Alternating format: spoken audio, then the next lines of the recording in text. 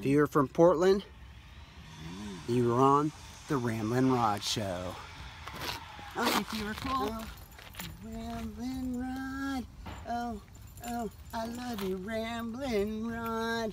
Oh, oh, maybe free tickets to Chuck E. Cheese from Ramblin' Rod.